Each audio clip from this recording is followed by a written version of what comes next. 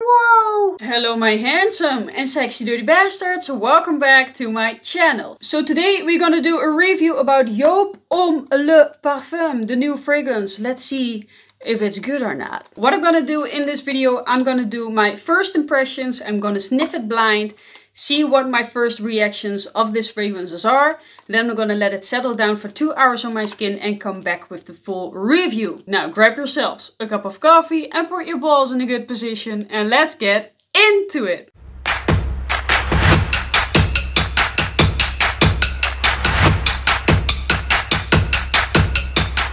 Alright, Joop Homme. Let's see what you got. Now I must say, I don't like Joop fragrances. I don't like the normal pink one. I don't like the Eau de Parfum one. But the, the one that I do like is Joop Homme Wild. So um, let's see. Alright, this is the presentation of the box. Simple, simple, nothing. Uh, the information, uh, the things at the bottom. And you get like a sun. I have no idea what this is, but this is what you get at the top. Yeah. Okay, let's see what this one is. Oh, the famous pink bottle. Famous pink bottle. That's what you get.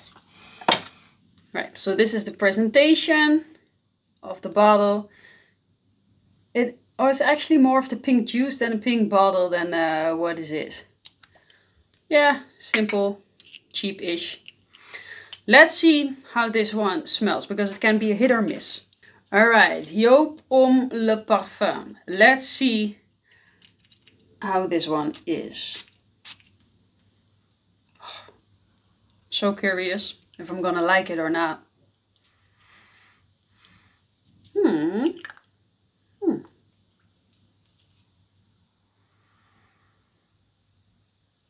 Weird. That's the first thing what I get. It's weird. I um I got something really nice. I got something powdery and I was like, is there iris in this one, you know? And then I got something like really punching and screechy in my nose. I was like, uh, what is this? Oh.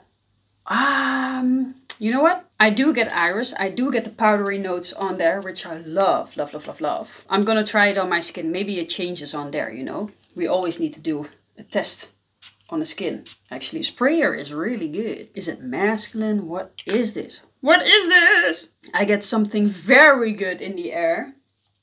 Wow. Oh, guys.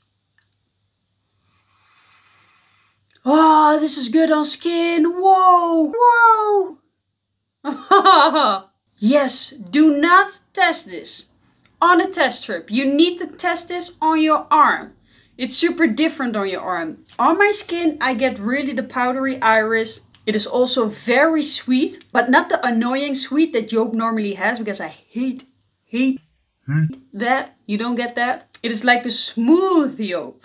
That's what it is. Smooth Joop. I like smooth Joop. Smooth Joop Le Parfum. Give it to me, baby. Yeah, this is good. Wow, okay. It is really powdery, smooth powdery. It is lipstick powdery, that's what it is. But also with some sweetness and I think also fresh fruit in there. But I don't know really what it is. Okay, first impressions are really good. I'm really digging this fragrance, like a lot. So what we're gonna do now is we're gonna let it dry down on my skin for two hours and come back with a full review. So be right back in a sec. Two hours later. Alright guys, and I am back. So it has been two hours that Joop Homme Le Parfum has been on my skin right now. And uh, it is still really good. And I can tell you that uh, I already love this fragrance. But that is also because I really like uh, powdery kind of fragrances. And this fragrance is very, very powdery. It is sweet, but not overly sweet. It is not cloying, never and it has a good balance between sweet and powdery. But that's the main thing that you're going to smell with this. Now, and let's look up the notes on Fragrantica. Let's see what the notes in here are and if you can smell that. Okay, so in the top you're going to get lavender. I did smell that in the opening, but in the dry down that's completely away. In the middle notes you're going to get iris. I do get that, but it is not the same iris as Dior Homme Intense or Prada L'Homme. It is not that iris. This is a different kind of iris, an iris that I have never smelled before, but you smell that it is iris. But don't expect that it's the same as Dior Homme Intense and Prada L'Homme. Remember. Okay, and in the base notes you're gonna get vanilla, praline and tonka bean.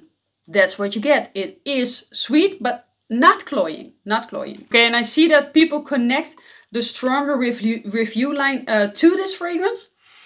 But I would say no. It is different. It is not, not anywhere close actually. They both are sweet, but this is more of a unisex kind of a fragrance and the Stronger With You line, I find that one very masculine. So don't think that you're gonna get anything of the Stronger With You line because no, no, no, no, no.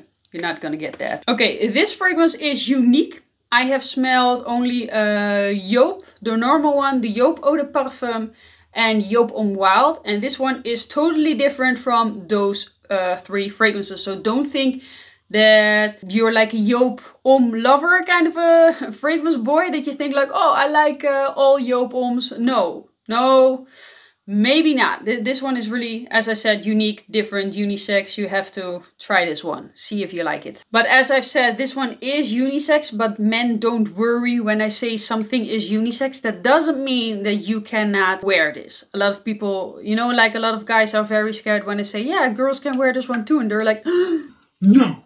If a girl can wear that also, I'm not gonna wear it. It's a fragrance, you know. If you if you wear it or, or a woman, it's different. Don't be scared about that. Okay, and occasions to wear this. Again, you can wear this actually all year round at night, but not in the summer. You can wear it every year, just not in the summer. It, it's going to be too cloying for that.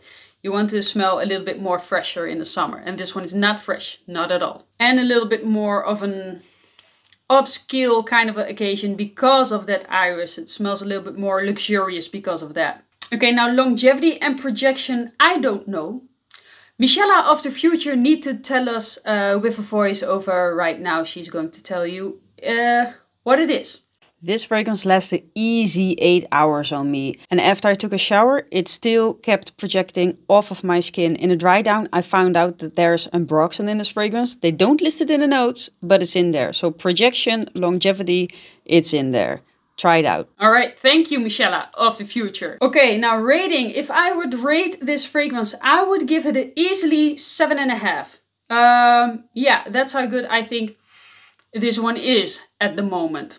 Now the prices are a little bit high because it is a new or high. It's not super. It's you know it's a, it's a cheap fragrance, but wait for it till it's not that popular so you can get it cheaper. All right guys this was the fragrance video of today. Hope you enjoyed it. Let me know in the comments down below which fragrance you want me to review next and i will do it. I will try to get a sample or a bottle or whatever. Let me know in the comments down below and see you in the next video. Mwah! bye bye